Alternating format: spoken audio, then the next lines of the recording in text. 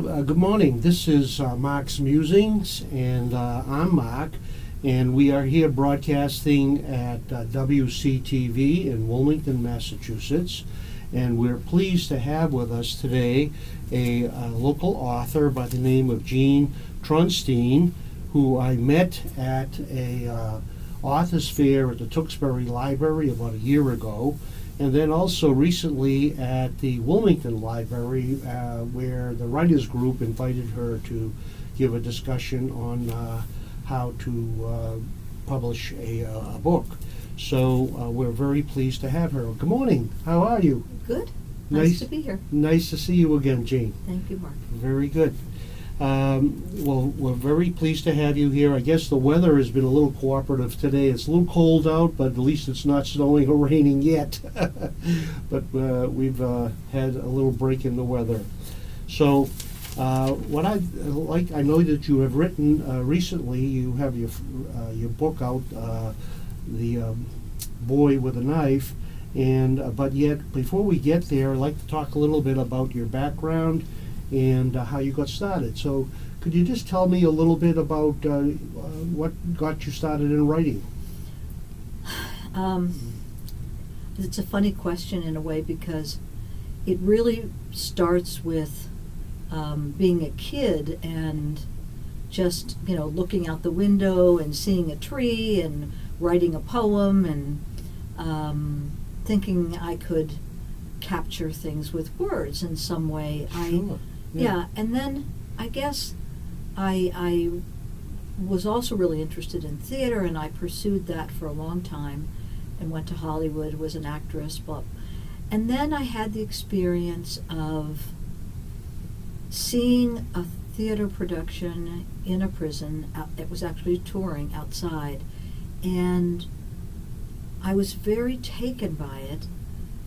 And one thing led to another, and I was offered fairly, you know, a couple of years after that, an opportunity to teach in a prison. Mm, isn't that wonderful? It Wow. was, and so Yeah. I think it was the desire to speak about what I saw Oh yes, yes. that yeah. propelled me into writing. Yes, yes. And I, I, I think I, I said that to the Wilmington Writers Group also is that when you have something to say, yes. that is, I think, one of the motivators. Um, Most important. Yes. Mhm. Yeah. mhm. to, when you uh, have something that's uh, pent up in your mind and you want to get it out to tell people about it, that's that's the motivating uh, factor. Right. So the first book I actually wrote was Shakespeare Behind Bars, but that took a long time Yes. to get to that book. Y- Yeah. Yeah. Yeah. And, and when you did wrote that book, uh, did you teach uh, the prisoners about acting, about writing, about Well, I mean, I was teaching college classes in the prison. Oh, okay. Yes. And, excuse me, I,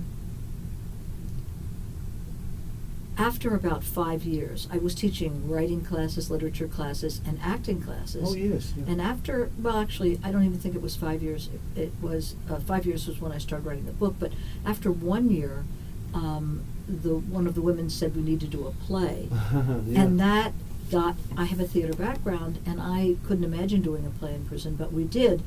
And then, and that was done for the women inside. It was done for people on the outside. wow. And the first play was a Shakespeare play because my thinking is that if you give people something that they think is most difficult for them to do and they succeed, they really feel better about themselves. Accomplish something. Accomplish yeah. something. Yeah. So I ended up um, starting to write about my experiences in prison Yeah. with the women, and that led to my first book, Shakespeare Behind Bars. Um, led to some articles, and then How, how often did you uh, visit the prison? Was it a daily thing? Or No. what, uh, It was about twice a week. twice a week, yeah. And then you got to know some of the, the Oh, people yeah. there, and and uh, so the book is based around six women. six women, okay, and they all took on different parts in the Shakespeare Right. plays and whatever, yeah. And so it took them time to learn their parts and. Well, I directed the play, Yeah. and it took us six months, Wow. really. Um, I brought in Shakespearean costumes for them to try on. They adapted the text. We did Merchant of Venice, the trial scene. Oh my God! and yes. it was very profound. Wow. And we invited people from the outside, and we had gotten a grant for this. Um, and that led to seven more plays. So I ended Wow. up ultimately directing eight Yeah. plays Yeah. in the women's prison. The book only covers um, Merchant of Venice because I, I bet they felt a sense of pride, all of them. Oh, you know, yeah. in terms of you know, being able to do something that they had never done before, and and uh, under your direction. You know, but uh, it was Right. nice. Yeah. So that was kind of what. And then I was hooked after that in terms of writing. Yes. Um, yeah, I can see. yeah. See this. Uh, and so then you got uh, you wrote several other articles in magazines and things like that. But now you're you discovered this story about a uh, boy who stabbed somebody and Well, what happened was okay. So I had written several other books in between. Yes. Um, and uh, some of them, a lot of things had to do with the justice system, but some things didn't. Anyway, a young man wrote me from prison oh yes. and asked me for help. Oh, okay. a, a, a, for a female friend of his on parole issues, and um, I didn't know that much about parole at the time, but I began researching, and that's what. After you know, I was very interested in his case. What Yes. happened with him? yes. He had yes. killed someone when he was 16 oh my God! Yes. and it was in a classroom. And Mm. since I'm a teacher, he killed some. I, mean, I teach college. yes. He had killed someone in a academic setting. That was i couldn't understand that, so I started researching him. What happened? Yes. And yeah. As I started writing him, and the discrepancy between the person on the page who wrote me and what was said about him was so profound that I wanted to understand that. Yes. That's yes. what led me into writing Yeah. Boy with a Knife. Wow, wow, yeah. And so now he served, uh, he was commi- uh, committed to prison and He was served- sentenced for life, and, and he actually was with the eligibility parole. He um, ultimately, when he wrote me, he had to serve 15 years, but we ended up writing. Took him another five years to get out, and he ended up writing for those five and a half years while he was Mm. behind bars the whole time, and Mm. um, it was on the basis of his letters and my research into parole uh, kind of the book. Yeah.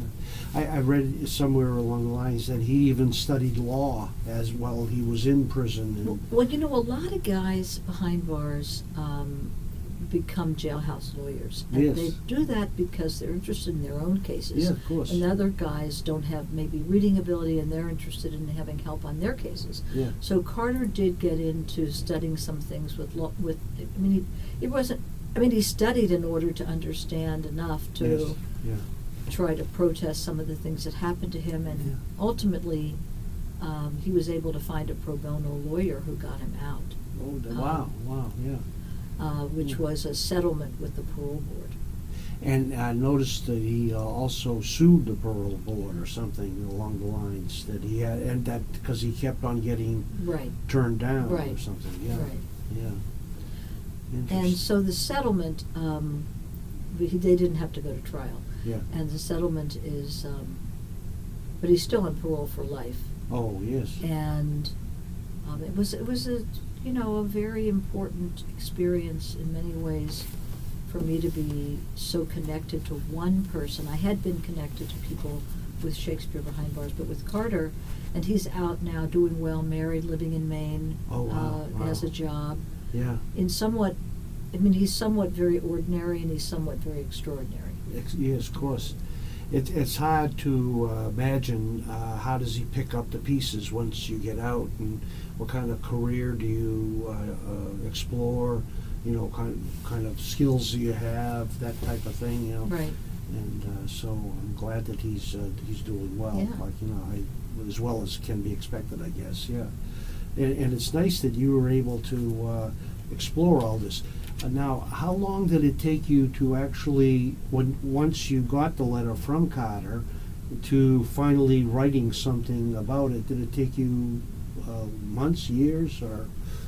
Well, I think I- got. I'm trying to remember the timeline, but um, Did you visit took me- in jail? I or- did visit him. Yeah. Um, well, the first time I visited him was when I took my students to see him um, in a group he was in called Project Youth, and they heard a bunch of guys talk about, excuse me, their remorse Oh, yes. and what had happened to them and how they changed and stuff. This was at when he was at Shirley Yes. prison, and Why did he get moved around? Why, well, they do that. That's Yeah. just it's um, part of the system. They Okay. move you. They decide Okay. different. Thi- I mean, it's it's always very. In many cases, it feels random for the prisoner. You know, sometimes they think there's somebody else at the prison. We don't want two, these two people at the same place. Okay, yeah. Um, Yeah. in Carter's case, you know, he was at pre-release, he was about to get out, and then he almost, I mean, he had gotten parole, he was about to get out, he had, they found glucosamine chondroitin, which is a supplement, but they thought it was Drugs. uh, is it? drugs, Yeah. and they didn't check first, and they sent him immediately to Old Colony Correctional. Yeah. So, you know, he moved a lot, but, um, I was gonna say that, um, you asked me how long it took me, and I would say, you know, the book was published in 2016, so it was a good, I don't know, eight years, seven years, something like that. Wow.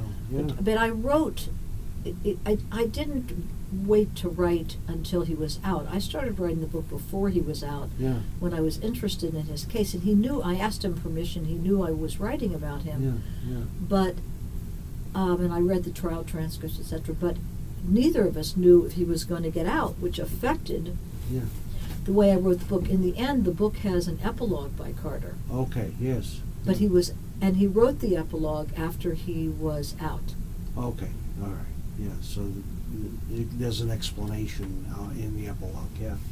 Interesting. So, uh, so you met Carter through through the uh, letter. Through letters. And then you visited him, and then you began to do your research. Uh, uh, you had uh, also technical research that you had to do too. Right. You probably contacted different people to. Oh, I had bazillion interviews. I had, I mean, I have 450 some odd footnotes in the Oh, book. my God, I mean, yeah. it's a narrative, but Yeah. I wanted it to have all the research behind it because. Of course, yeah. and, and in a way, the story is unusual in that I enter the book a couple of times as the narrator enters the book. Yes. I'm the narrator, I enter the book, and at the same time, it's Carter's story, it's his narr- it's, it's about him, and at the same time, it's research.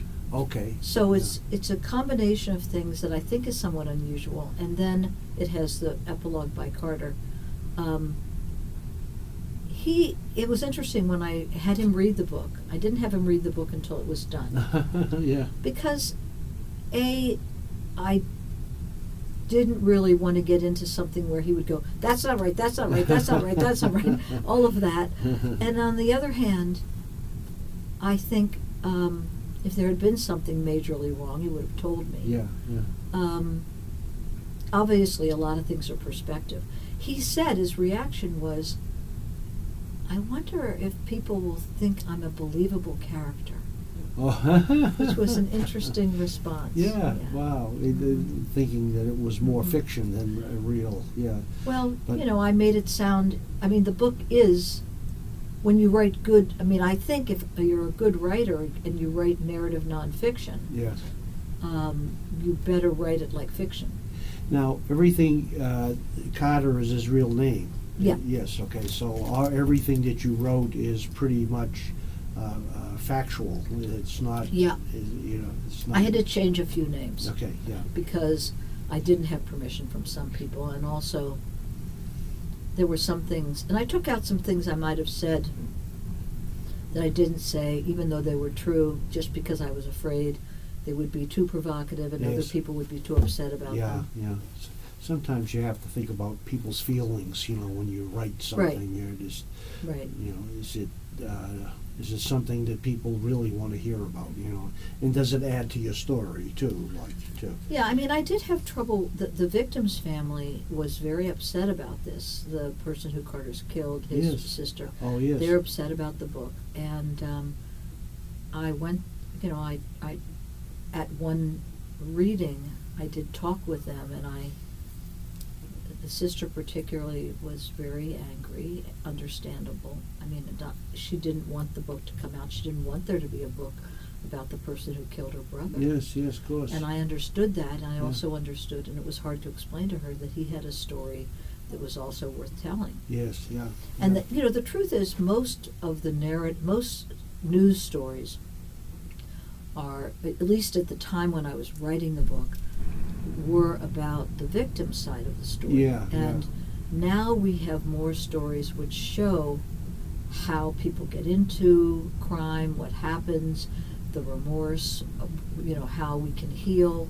Mhm. Um, you know, one of the sad things in the state is that we don't really insist on what I what is called restorative justice. Yeah. We have revengeful justice in a way. In other words, people are adversarial all the time. It's always adversarial, and in, you know, Carter's not allowed to talk to the family of even write a letter to the family of the Yeah. victims, Yeah. and they don't they, they don't contact him, and there's no way to have an, any.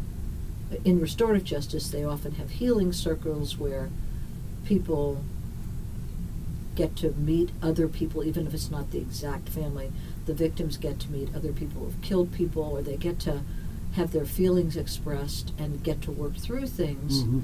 in Yeah. a very healing way. We don't necessarily promote that. Sometimes it happens, but What, what's uh, you mentioned that there was uh, something wrong with the parole system.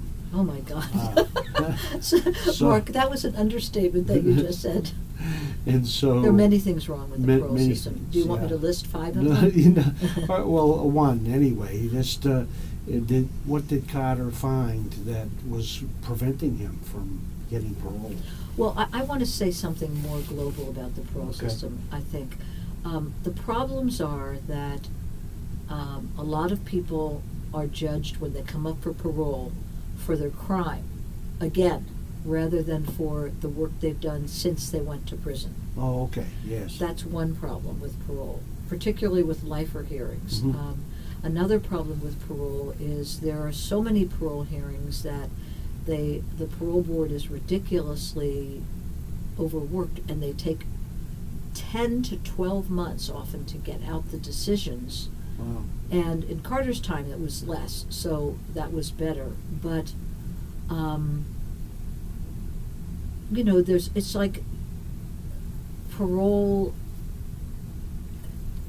There's a problem now with too many quote law enforcement types on parole boards, rather than enough psychologists, people who are social workers, people who understand addiction, people who understand juvenile justice. We have a problem with that. There's a problem with um, no, you know, the, some of the racial dis- disparity of the parole board. There's like one person of color right now, but uh, there there have been two at a time. But often there aren't enough people who are diverse in different ways. Yes, yeah. Educationally, backgrounds, etc., training Mhm. um, as well as racially. Um, so, I mean, it's, we have a seven member board to judge 8,000 hearings that are some lifers, uh, you know, 200 lifer hearings. Is that how many hearings there are? And About 8,200 of them are lifer, but about 8,000 hearings, or seven, 8,000 hearings across the state. And they have to travel to different prisons Wow. to, to, for, for people who are in, who are not on li- in, Yeah, lifetime yeah, parole, who are yeah. on, you know, say, um, you know. What's the drug crimes, et percentage of uh, par- uh, parolees that get paroled? They Well, the, if you look at um, adults versus juveniles, it's different, but the overall percentage is it's about twenty-three percent right Mhm. now. Yeah, It varies. That's not great. yeah. It's not, yeah, and parole actually, it, you know, if you have good supervision and you're out of prison, Yeah, it's better for the country. It's better for the state. It's better for everybody. yeah. um, because being in, I mean, prison is not a healthy environment. Yeah, you, you would hope that uh, during their prison stay that they learned the bad things about their their their crime, but then they learned uh, remorse and they learned how to uh, get better. The And thing, so- Mark, is that most people have to work against a system that does not give them support. In Yeah. other words, the system does not support that learning. Yeah. But people like Carter and many other young men and women do change and do.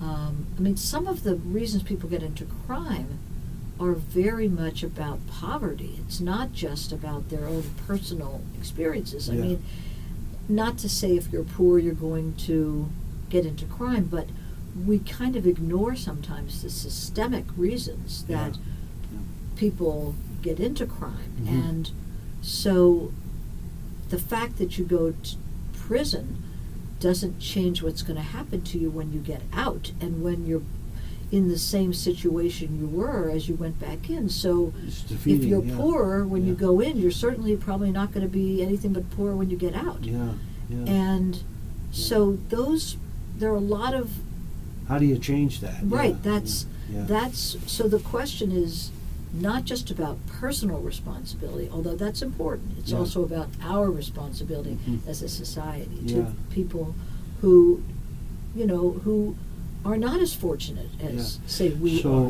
one of the better things about the parole or the prison system is to try to teach the prisoners to uh, learn a new trade. I wouldn't say that that's a better thing about the prison system. No, what I'm saying Yeah. is, yeah, is that uh, while they're there, they needed to teach them how to survive in. Well, they don't learn that from the system. That's what I'm telling you. They Yeah. learn it in spite of the system. Yeah, Uh, there are some skills people can learn behind bars, not very many. yeah, When I was at Framingham, there was a program called Women in the Building Trades, and they wouldn't allow the women to have tools. oh. You know, um, you know, women learn how to do nails. It's not like um, there's a lot going on for people to Yeah, learn when they're inside. Yeah, Um, Bar- Carter got his barber's license, but he wasn't able to practice because, um, in order when he got out, he would have to pay.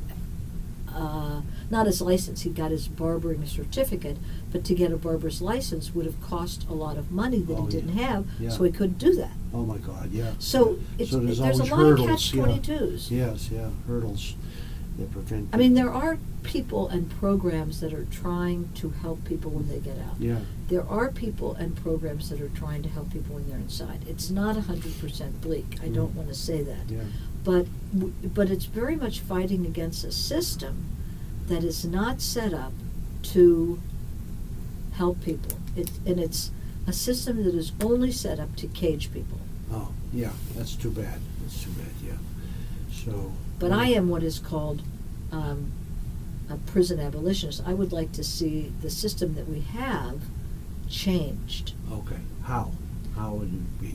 Well, I mean, it wouldn't be like we let everybody out in two seconds. But I think that there are a lot of people, number one, who are behind bars who don't need to be there. Okay, Enormous amount of people who Yeah. we could figure out, like, we could have many people out. Our sentencing structure is ridiculous. I mean, to send people necessarily to prison for, you know, not not so much in Massachusetts, but some states, life eligibility for parole in 50 years. I mean, that's insane. You know, you're going to be 105. You know, so um, our sentencing structure is too harsh. It's too, yeah. Yeah. Um, recently, we got rid of. I mean, we still have the death penalty in a lot of states. Mm, Um, we still have life without parole, which I don't agree with. I think everybody should have the chance of par- the chance of parole. Doesn't Parole. mean you're going to get it, yeah, yeah. because as I said, the parole board's very hard. Yeah. Um, but the chance to go before the parole board. Mm, um, I think that in some countries across the world, people who quote guard people are trained for a year, as just like they're psycho- you know, they're social workers. Mm. We don't train our correction officers. Yeah. So, I mean, they're trained perhaps in, you know, custody, quote, they call it care, but it's really more of how to keep people from um, doing something Yeah. they think is wrong, but not taking, not giving them support. Inter- interesting. Yeah. So, um, But we could talk about this for a long. Forever, forever, forever. Yeah. Well, okay, so now you have this book, and you now, uh, I've spent a long time researching it, talking with Carter, putting, putting the words together, and now you have uh, a full manuscript. How do you get it published? Um, well, each book I've had has had a different different process to publication. Yes. There has been nothing one way. With um, Boy with the Knife, I had a publisher. They were public. I mean, I got them just by happenstance. Um, I, I tried to get an agent.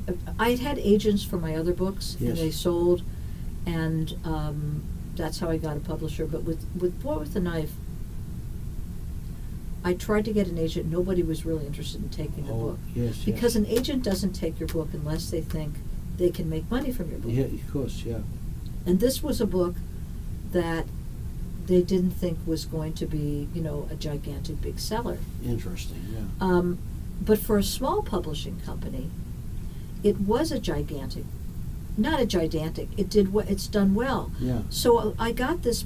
I found out about social justice publishers, basically, and the publishing company that I ultimately went with was uh, is called IG, IG, IG Publishing, um, and they're out of New York, and they do a lot of really good books that try to change the world Hmm. and I liked them. And I think they decided they'd publish my book because I said to them, "Listen, um, you know, I know you. I mean, I didn't say this, but I knew they didn't have tons of money to send me on a book tour. Yes, yeah. And um, I said I'll go around to ten cities and I'll Wow. do books readings and I'll sell this book because I found a that is fun and be the way to get attention to your book is to go to different cities Yes. and then a radio show they'll do a radio show Yeah. somebody will do this and that so I brought a lot of attention to the book um, With the by tour. traveling with, it With the tour. and um, I think also uh, there, as Carter got out of prison, um, people got interested also because of this book, and they wanted Carter to talk. And Carter is incredibly articulate, and so you know some classes use the book and have Carter come to speak or something. Oh, so like he that. does do that. He does some Yeah, he does speaking, and he also Good. he writes letters. Um, you know, when he doesn't agree with policies, he he would love to go inside. I think he'd be a fantastic person. You know, they have a rule that you can't go inside uh, when you've been a uh, somebody who's committed a crime unless you get special permission. It's very hard. You have to go through a number of years and training and so on. Um, but he'd be a wonderful person to help people when they come out to help them to share his experience and Yes. then Yeah. help people. Yeah. I always he has he finished community college. When he got out, Oh, yeah. he immediately I helped him get enrolled at Quinsigamond Community College and he got a 4.0 average. Wow. Wow. Very motivated. Yeah. Right. Yeah. Very. I'd nice. like him to go to a four-year school, but you know, Yeah. I'm pushing him a little. So I've noticed now. Uh, so you've pushed your book uh, by going on tour, Yeah. and you're continuing to do that too because you're trying to get people interested in the book, and so you're making and the a- subject. in, in the subject and Mhm. making appearances at Mhm. libraries and Mhm. and uh, bookstores, etc. So, so how's that going? Is that going pretty well now that you keep you keep it in the public's eye? Well, yeah, I mean, it's not like, you know, I'm not John Grisham. Yeah, of course. You know, I mean, Yeah. you don't, I don't ask for myself, or my publisher doesn't ask for me, you know, more books than they expect. You know, it, it did well for them, Yeah, th- my book. Good. And Good. I think um, they were happy with it, and I was happy with it, am happy with it. And, you know, people now ask me, you know, like I'm doing a, um, a Martin Luther King keynote on juvenile justice. Um, I think I mentioned this to you. I went to Italy this year and Yes, yeah. um, got an award for my doing theater and literature in prison, and um, one of the people there has committed to translating um, Shakespeare behind bars and perhaps Boy with a Knife Oh, into good. Italian. Oh, nice, yeah. So that would be interesting. Yeah. You know, get more readers that way. Yeah. Um, I, I, I think that I tell people about juvenile justice, and it, it's it's a resource. It's a resource for why we should not send children to adult prisons. So it's sort of a platform for you to, To talk about- yeah, I think that- yes. I think that Carter's story helps us understand more kids in general, Yeah, and it helps us helps us understand why teens should not be put in with adults. Not that I think teen facilities are particularly good, but adult facilities. Imagine being a 16 year old and being sentenced to an adult prison. I mean, you don't go in this state until you're over 18, but Yeah. if you're sentenced, even if you're 18, I think you're still pretty young. yeah, yeah. So it's, it's not, not a good environment for them to. Actually, 18 now is still considered a child, so you'd have to be 19 to go to an adult prison. But Yeah, the yeah. problem is that, and, and we're trying to pass laws to get 21 to be considered a, Uh, a, a uh, child, not a child, but a youth, and you know your brain's not fully developed. I mean, I, there, there, you know, it'd, it'd be better um, if younger people are not with adults. Bill Ricca has a program in other places. That's a jail, though. It's a house of correction where they have, you know, some young people isolated from other Yeah. people in the jail, and, Yeah. and to sort of more programming, more uh, connected to age appropriate, Yeah. connected to. Inter- interesting. So what's next? Uh, are you still, you thinking about writing another book? I am or- writing another book. Okay, good. Very I good. am writing another book, and um, Is it in a similar vein, or is it something different, or? well, um, I don't know if I want to talk about it. Okay, on- no I will say a couple of things. So, Okay, yeah. one is it's challenging. I always challenge myself, and it, this one is short stories, Okay, good. and so it involves stuff with the criminal justice system, All right. all but right, it's good. short stories. Very, very good, very good. So your book is available on uh, Amazon Yeah, everywhere, and, anywhere. and, and everywhere, and so it's called Boy with a Knife. Boy with a knife. um, Yeah. a story of murder, remorse, and a prisoner's fight for justice. Very good, very good. Well, I think we have come to the close of our uh, interview. We've talked about 30 minutes here now. And uh, you've been very interesting. I always loved uh, listening to you. Uh, you always have something new to Thank you. add to your uh, to, to your story. And uh, I'm glad that uh, Carter is doing well, and he's now has a new life, and uh, um, and he's progressing, and, and I'm glad that the the book is doing has done well too, and uh, and now that you're off to some new new ventures too, and it's nice to hear you uh, travel around, and uh, you've made quite a journey from this uh, book here, Mm. not only uh, locally, but now you've gone to Europe and uh, and uh, so it looks like uh, this has been a, quite a, uh learning endeavor for you and for the general public. I, I would like to say if people want to know more about my work, they can go to my website, which is Oh yes, yeah. And I'm also on Twitter um, at Justice with Jean, and I am someone who really likes to help people and I'm willing to answer questions. I don't, you know, I'm not somebody who says, "Don't talk to me." I say, you know, if you have a question or you want some advice about something. So on I- those websites, they could leave comments and you could. no, no, they can't leave comments. I, Okay. I tried that for a while, and it, what happens is you get so many bots, uh, B-O-T-S, you know, uh, non-real people, Oh yeah. that uh, it was ridiculous. Oh, you know, yeah, people who, who ha- up, human yeah, beings. yeah. So I don't do questions on that, but but um, I have a, it, it, it, on Twitter and, and on my website, it does give, um, you know, email. chance to or say Yeah. something. Yeah, very good. Email. And do you write uh, blogs too? You write a blog? Yeah. Well, the Justice with Jean blog Okay, yeah. is on my website. on your website. Yeah, very good. Well, very good. Thank you very much for uh, being with us today, and uh, that uh, has brought the program to a close. And we're very happy to have you, and we look forward to seeing more of your writing and hearing more about about you. So, again, I'd like to uh, uh, bring the program to a close. So this is Mark's musings and uh, we are broadcasting at WCTV in Wilmington, Massachusetts. And uh, we were uh, proud to have with us today Jean Trounstine, who uh, has written several books, and you can get them on Amazon. And also uh, go to her websites and her blog. So, with that, uh, thank you very much, and we'll see you next time. Bye bye now.